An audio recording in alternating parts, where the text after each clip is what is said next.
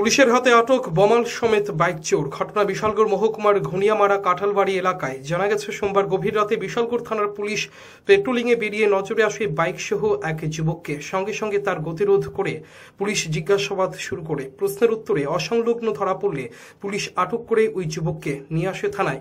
মঙ্গলবার সকালে ধৃত যুবক এলিম্পু দেববর্মার জবানবন্দি অনুসারে পুলিশ জানতে পারে সেদিন রাতেই বজ্রংনগর থানাধীন কান্তকোবরা এলাকার Samir দেববর্মার T R zero one A R seven two nine five নম্বরের বাইকটি তার বাড়ি থেকে চুরি করে ওই যুবক।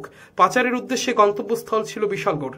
মঙ্গলবার দুপুরে বিশালগড় থানার পুলিশ বমাল সমেত ওই যুবককে হস্তান্তর করে বজ্রংনগর থানার পুলিশের হাতে।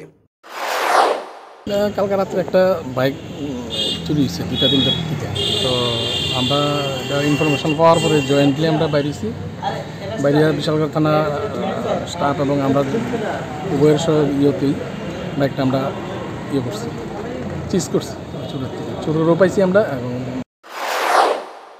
রিপোর্ট, চ্যানেল তিন রাত